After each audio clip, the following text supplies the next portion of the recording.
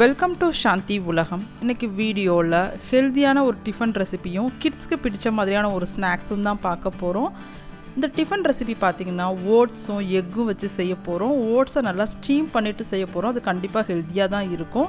அதே மாதிரி ஸ்நாக்ஸ் ரெசிபியும் பார்த்தீங்க அப்படின்னா மாவு உப்பு சக்கரைலாம் வச்சு கொஞ்சம் டிஃப்ரெண்ட்டாக செய்ய போகிறோம் உங்களுக்கு டைம் இருக்குது அப்படின்னா கண்டிப்பாக இந்த ரெசிபியை ட்ரை பண்ணலாம். இதில் நிறைய வேரியேஷன் பண்ணலாம். அது என்னென்னங்கிறத வீடியோக்குள்ளே போயிட்டு பார்க்கலாம். இந்த ரெசிபி பார்த்தீங்கன்னா வெளில நல்ல கிறிஸ்பியாகவும் உள்ளே நல்ல சாஃப்டாகவும் இருக்கும். நல்ல ஒரு சுகர் கோட்டிங் கொடுத்து சாப்பிடும்போது டேஸ்ட் அட்டகாசமாக இருக்கும். பெஸ்ட்டு ஈவினிங் ஸ்நாக்ஸாக இருக்கும் இது. பேசிக்காக இந்த ரெசிபி பார்த்தீங்க அப்படின்னா ஒரு ஸ்பானிஷ் டிஷ் தான். இதை நமக்கு ஏற்ற மாதிரி எப்படி செய்யலாங்கிறதையும் பார்க்கலாம் டெய்லியும் கொடுக்குற ஈவினிங் ஸ்நாக்ஸ்க்கு ஒரு ஆல்டர்னேட்டிவ் வேணும்னு நினைக்கிறீங்க அப்படின்னா உங்களுக்கு டைம் இருக்குன்னா வீக்கெண்டில் கண்டிப்பாக இதை ட்ரை பண்ணுங்கள் வாங்க ரெசிபி எப்படி செய்யலான்னு பார்க்கலாம். ஃபஸ்ட்டு ரெசிப்பியாக ஓட்ஸ் வச்சு எப்படி செய்யலான்னு பார்க்கலாம். ஓட்ஸை வந்து நார்மலாக உப்புமா செய்வோம். இட்லி கூட செய்யலாம். ஆனால் இந்த மாதிரி செஞ்சு பாருங்கள் டேஸ்ட் வித்தியாசமாக இருக்கும். அதுக்கு ஒரு மிக்சிங் பவுல் எடுத்துக்கோங்க. அதில் ட்ரை ரோஸ் பண்ணிவிட்டு மிக்ஸி ஜாரில் போட்டு கொர கொரப்பாக அரைச்சி வச்சுருக்க ஓட்ஸை சேர்த்துக்கலாம். நான் இன்றைக்கி ஒரு அரை கப் அளவு தான் எடுத்திருக்கேன். உங்கள் டேஸ்ட்டுக்கு ஏற்ற மாதிரி உப்பு சேர்த்துக்கோங்க. லைட்டாக ஒரு கால் டீஸ்பூன் அளவுக்கு போதும். எப்படி நம்ம மசாலாலாம் உப்பு சேர்ப்போம். அதனால் கொஞ்சமாக சேர்த்துக்கலாம். உப்பு சேர்த்துட்டு கொஞ்சம் கொஞ்சமாக தண்ணி ஊற்றி நம்ம நார்மலாக புட்டு மாவு ரெடி பண்ணுவோம்ல. நல்லா ஒரு கொழுக்கட்டை பதமாட்டம் பிடிச்சிட்டு உதிர்த்து விட்டால் உதிரும்ல அந்த மாதிரி நம்ம ரெடி பண்ணணும். தண்ணி பொறுத்த வரையில் அட் அ டைமில் அப்படியே ஊற்றாமல் கொஞ்சம் கொஞ்சமாக தெளித்து பொறுமையாக செஞ்சுக்கோங்க. அப்படியே ஊற்றிட்டோம் அப்படின்னா ரொம்ப குழ குழப்பாக ஆகிடும் நமக்கு செட் ஆகி வராது அதுக்காக தான் இது கொஞ்சம் வெது வெதுப்பாக இருக்கும்போது செய்ய ஆரம்பிச்சிருங்க அப்போ தான் கரெக்டாக பதமாக வரும். இது செஞ்சுட்டு இருக்கும்போதே இட்லி பாத்திரத்தில் தண்ணி நல்லா கொதிக்க வச்சுக்கோங்க. நம்ம இதை ஸ்டீம் பண்ணி எடுக்க போகிறோன்னு சொன்னால அதுக்காக தான் பார்த்திங்கன்னா நல்லா தண்ணி ஊற்றி மிக்ஸ் பண்ணியாச்சு. கொஞ்சம் கொஞ்சம் கட்டி இருக்கிறது இந்த மாதிரி கையால் உடச்சி விட்டிங்கன்னா அது ஈஸியாக நல்லா பிரேக் ஆகி வந்துடும் அவ்வளோதான் இது ஒரு நல்ல ஒரு ஸ்டீம் பண்ணுற பிளேட்டில் வச்சுட்டு நம்ம ஆவி காட்டி எடுத்துக்கலாம். ஸ்டீம் பண்ணுறதுக்கு முன்னாடி தண்ணி நல்லா கொதிக்க வச்சுட்டு ஸ்டீம் பண்ணிக்கலாம். நான் இன்றைக்கி ஸ்டீம் பண்ணுறதுக்கு பத்துலேருந்து ஒரு பதினஞ்சு நிமிஷம் வரைக்கும் ஸ்டீம் பண்ணி எடுத்துட்டேன். ஸ்டீம் பண்ணிவிட்டு இது இருக்கட்டும். நெக்ஸ்ட் நம்ம மசாலா ரெடி பண்ணிக்கலாம். அதுக்கு அடுப்பில் ஒரு பேன் வச்சுட்டு ரெண்டு முட்டை எடுத்து வச்சுருக்கேன். கொஞ்சமாக எண்ணெய் ஊற்றிட்டு இந்த முட்டைக்கு தேவையான அளவுக்கு உப்பு சேர்த்துக்கோங்க. இதில் கொஞ்சமாக பெப்பர் சேர்த்துட்டு இதை தனியாக ஸ்க்ரம்பிள் பண்ணி எடுத்துக்க போகிறோம் அதுக்கப்புறமா நம்ம வெங்காயம் தக்காளியெலாம் தனியாக வதக்கி எடுத்துக்க போகிறோம் இந்த வெங்காயம் தக்காளி கூட சேர்க்கும்போது ரொம்ப குழ குழப்பாக ஆன மாதிரி இருந்துச்சு. அதனால் பெஸ்ட்டாக நீங்கள் இந்த மாதிரி ஃபாலோ பண்ணுங்கள் ஃபஸ்ட்டு முட்டையை ரெடி பண்ணி எடுத்து வச்சுட்டு அதுக்கப்புறமா நம்ம வெங்காயம் தக்காளி சேர்த்து வதக்கிக்கலாம். அரை கப் அளவு ஓட்ஸுக்கு ரெண்டு முட்டை கரெக்டாக இருக்கும். ரொம்ப அதிகம் சேர்க்க வேண்டாம். அப்புறம் ஓட்ஸோட டேஸ்ட்டே தெரியாது. நல்லா ரெடி பண்ணியாச்சு. இதை ட்ரான்ஸ்ஃபர் பண்ணி வச்சுட்டு அதே பேனில் நம்ம வெங்காயம் தக்காளி வதக்க ஆரம்பிச்சுக்கலாம். ரொம்ப ஹார்டாக ஸ்டம்பிள் பண்ணி எடுத்துடாதீங்க நெக்ஸ்ட்டு அதே பேனை அடுப்பில் வச்சுட்டு எண்ணெய் சூடு பண்ணிவிட்டு கடுகு உளுத்தம் பருப்பு பொரிய விட்டுக்கோங்க. இது கூடவே கொஞ்சமாக ஜீரகம் சேர்த்துக்கலாம். கடுகு உளுத்தம்பருப்பு ஜீரகம் எல்லாம் பொரிஞ்சு வந்த பிறகு வெங்காயம் சேர்த்துக்கலாம். நான் இன்றைக்கி ஒரு மீடியம் சைஸ் வெங்காயத்தை ஓரளவு பொடியாக கட் பண்ணி வச்சுருக்கேன். அதை சேர்த்துக்க போகிறேன் இது கூடவே ஒரு துண்டு அளவுக்கு இஞ்சியை நல்லா பொடியாக கட் பண்ணி வச்சுருக்கேன். அதையும் சேர்த்துட்டேன். எல்லாத்தையும் சேர்த்துட்டு கொஞ்சமாக உப்பு சேர்த்து நல்லா வதக்கி விட்டுக்கலாம். வெங்காயம்லாம் வதங்கி வந்த பிறகு தக்காளி சேர்த்துக்கலாம். எந்த அளவுக்கு வெங்காயம் எடுத்தோமோ அதில் பாதி பங்கு அளவுக்கு தக்காளி சேர்த்தா போதும். ரொம்ப சேர்க்க வேண்டாம். தக்காளி சேர்த்துட்டு ரெண்டும் நல்லா மசிஞ்சு வர வரைக்கும் நம்ம வதக்கி எடுத்துக்கலாம். அதுக்கப்புறமா முட்டை சேர்த்துக்கலாம். இதுக்கு தேவையான மசாலா பொடியும் இந்த டைமில் சேர்த்துக்கோங்க. நான் இதில் அதிகமாக என் மசாலா பொடி எதுவும் சேர்க்கலை. நம்ம வீட்டில் அரைச்ச மிளகாய்த்தூளும் கொஞ்சம் மஞ்சள் தூள் தான் சேர்க்க போகிறேன் நீங்கள் வேணால் வேரியேஷன் வேணும் அப்படின்னா கொஞ்சமாக கரம் மசாலா தூள் கூட சேர்த்துக்கோங்க. அது உங்களோட ஆப்ஷனல் தான். அது சேர்க்காமலே டேஸ்ட்டு சூப்பராக இருந்துச்சு. ஒரு டீஸ்பூன் அளவுக்கு நான் இன்றைக்கி மிளகாய்த்தூள் சேர்த்துட்டேன். இதையும் சேர்த்துட்டு ராஸ்மல் போகிற வரைக்கும் வதக்கிக்கோங்க. வெங்காயம் தக்காளியும் நல்லா மசிஞ்சு வரணும். நான் வதக்கிட்டு காமிக்கிறேன். எந்த அளவுக்கு ரெடியாக இருக்குன்னு சொல்லிவிட்டு வெங்காயம் தக்காளி நல்லா வதங்கி வந்துருச்சு. மசாலா ராஸ்மலும் போயிடுச்சு. இந்த டைமில் நம்ம ஆல்ரெடி ரெடி பண்ணி வச்சுருக்கோம்ல முட்டை சேர்த்துட்டு வதக்கி விட்டுக்கலாம்.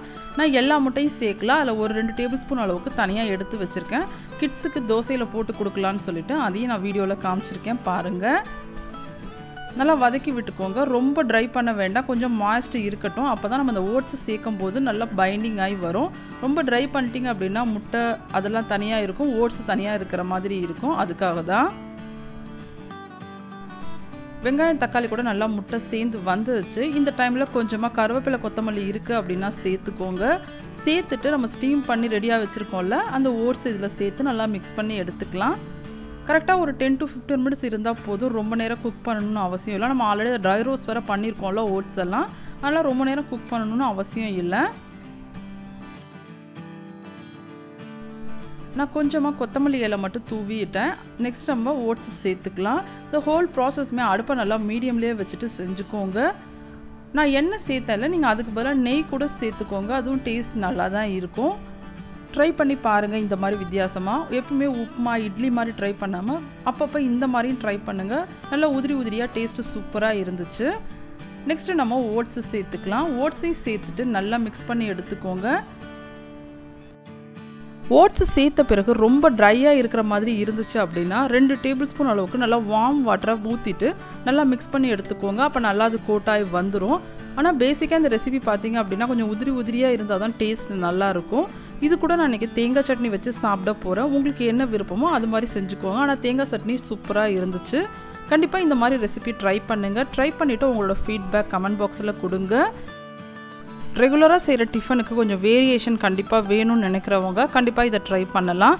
நான் ஆல்ரெடி சொன்னேன்னா ரெண்டு டேபிள் ஸ்பூன் அளவுக்கு முட்டையை நான் எடுத்து வச்சுருக்கேன் அப்படின்னு சொல்லிட்டு அதுக்கு ஒரு தோசை நல்லா திக்காக ஊற்றிட்டேன் அது மேலே நான் எடுத்து வச்சுருக்க முட்டை மசாலாவாக சேர்த்துட்டு கொஞ்சம் டேஸ்ட் கொடுக்கறதுக்காக கொஞ்சமாக பெப்பர் தூவி எடுத்துக்க போகிறேன் கிட்ஸ் எல்லாம் ஓட்ஸ் சாப்பிடுவாங்களேன்னு ஒரு டவுட்டு தான். அதுக்காக தோசையில் நான் கொஞ்சம் போட்டு தரலான்னு ரெடி பண்ணேன். இதுவும் சூப்பராக இருந்துச்சு. நார்மலாக அந்த கறி தோசைலாம் செய்வாங்கள்ல அந்த மாதிரி டேஸ்ட்டில் தான் இருந்துச்சு. இதே மாதிரியும் ட்ரை பண்ணி பாருங்கள் கண்டிப்பாக வித்தியாசமாக இருக்கும். நார்மலாக நம்ம ஊத்தப்பழம் செய்வோம்ல வெங்காயம் கேரட்லாம் போட்டுட்டு அந்த மாதிரி தான் இதுவும். கண்டிப்பாக இதுவும் டிஃப்ரெண்ட்டாக தான் இருக்கும். அடுப்பை நல்லா மீடியமில் வச்சுட்டு ஒரு பக்கம் குக் பண்ண பிறகு நம்ம திருப்பி விட்டுக்கலாம். திருப்பி விடுறதுக்கு முன்னாடி இந்த மசாலாவெல்லாம் நல்லா ஒரு அமுக்கி கொடுத்துட்டிங்க அப்படின்னா நம்ம திருப்பி போடும்போது சதறாமல் இருக்கும். பார்த்திங்கன்னா நான் ஈவனாக ஸ்ப்ரெட் பண்ணி விட்டுட்டேன். கொஞ்சமாக பெப்பர் தூவிட்டு நான் செஞ்சுக்க போகிறேன் கண்டிப்பாக இதையும் ட்ரை பண்ணுங்கள் அவ்வளோதான் இந்த ஹெல்த்தியான ரெசிப்பியை ட்ரை பண்ணிவிட்டு உங்களோட ஃபீட்பேக் கமெண்ட் பாக்ஸில் கொடுங்க.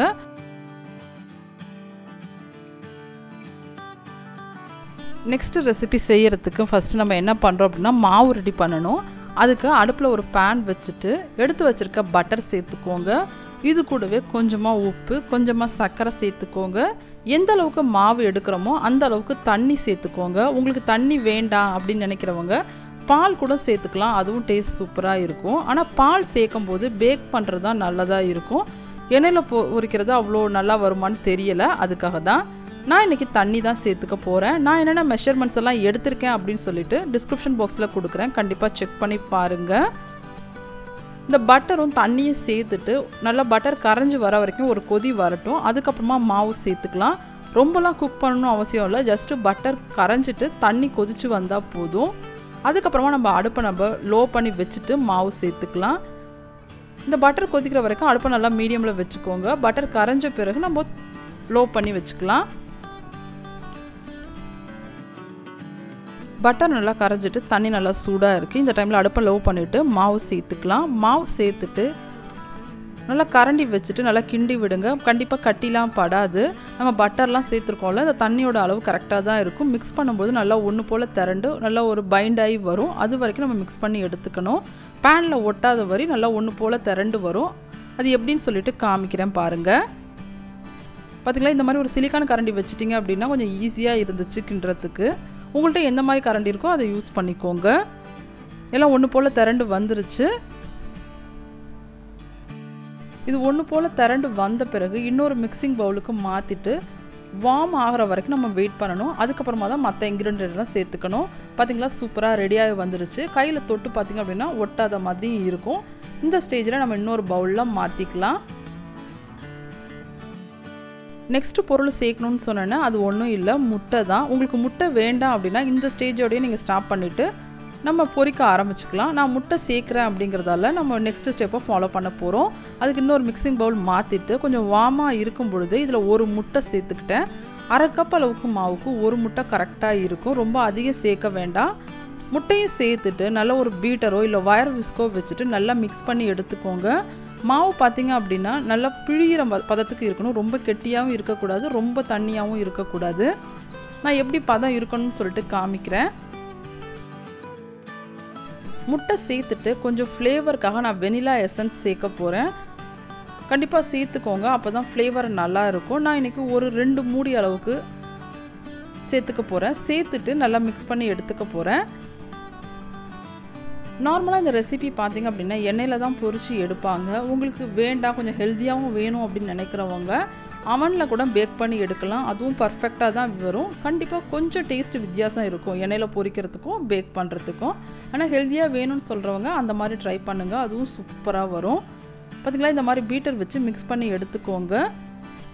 கண்டிப்பாக அந்த ஒரு முட்டை கரெக்டாக இருக்கும். பதமாகவும் இருக்கும். பார்த்திங்களா மாவு இந்த அளவுக்கு இருக்கணும். இப்படி எடுத்தீங்க அப்படின்னா நல்லா வரணும்.